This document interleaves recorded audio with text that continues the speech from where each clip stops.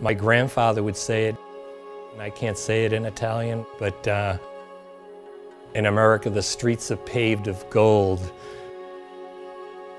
but you gotta bend down to pick it up.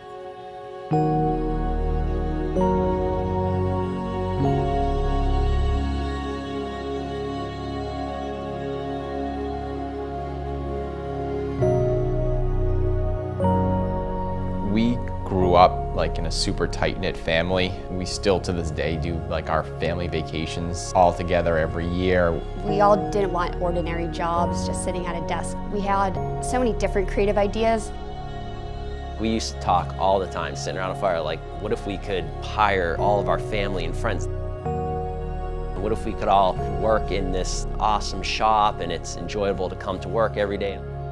The flexibility and the excitement and the uncertainty that comes with all of it. They talked about that junior, senior year of high school. My wife was definitely the most supportive person. She always wanted us to have side jobs, always wanted us to like dabble in different things to find out what our passion was. All of us wanted to be entrepreneurs, but I don't think any of us actually thought it would happen. My brother had graduated and gotten like a really good job at Hanscom. And I worked there as a civilian engineer for about three years. I just could not wrap my head around like this whole nine to six, you know, hour lunch break. He was telling me that he was thinking of starting his own business. When we started dating was when he quit his job and was like, I'm gonna do my own thing. And I was like, okay, well, if I don't leave you now, then I guess I'm in it for the long haul.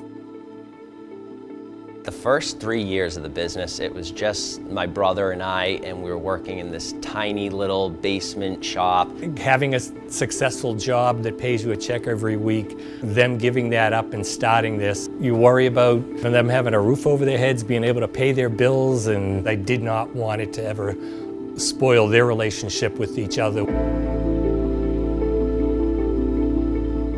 It's wicked hard and it's a lot of hard work. Yeah, they definitely have a passion. I mean, I'll say they're so passionate that you hear fights sometime where they're screaming at each other.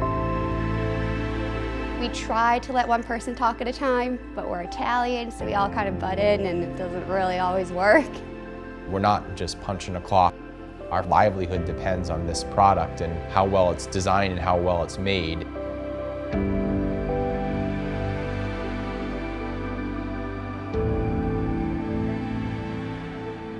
Starting a new business, you don't get a lot of respect right out of the gate. You need that support network. A lot of places aren't willing to give it to you until you've been in business for five years. Small businesses for bigger banks are not considered because the dollar amount is not there. They're working just as hard. They're probably working harder. Our first call was to the credit union. Michelle was the first person that I got to talk to. You know, when my phone rings, I answer it. To be able to talk with somebody that actually can answer your questions. That's what we needed to get started out. We, we had really no idea of how to start a business, how to manage the money and everything like that. You don't realize everything that's going to be thrown at you and which direction, you know, you're going to get pulled in. Whether it's for equipment or commercial real estate, it was great to have somebody to kind of talk to, talk things through. That allowed us to grow to the point that we then were able to start hiring people. We started really fine-tuning our craft, expanding our product line, listening to our customers and figuring out what they wanted. Within a few months of hiring my best friend from high school and then my sister and my dad, we were in this much bigger space and we had expanded into new markets. It was fun because now our conversations with Michelle got to transition less towards like how are we going to get through this to more like okay now how are we going to grow this.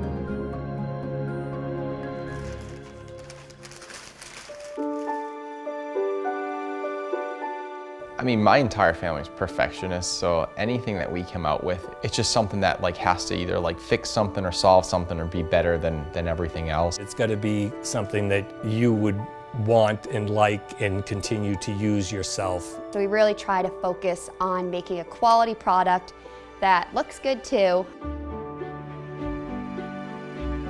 Wallets kept falling apart on me, so I came up with this idea for a wallet made of a single piece of leather and no thread stitching. We used solid brass rivets.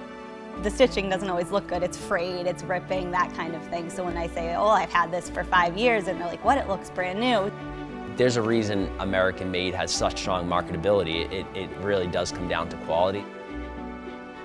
The leather is full grain veg tanned leather, so it has that like real natural, rich look and feel to it. We all have different strengths that contribute to American Bench Craft. Like Leah started doing silversmithing.